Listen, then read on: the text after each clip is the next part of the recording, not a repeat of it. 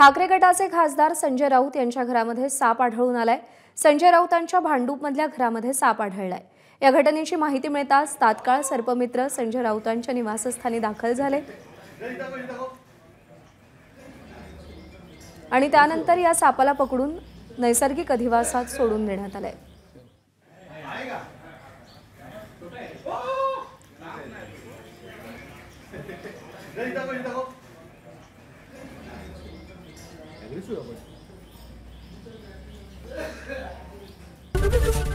ABP माझा.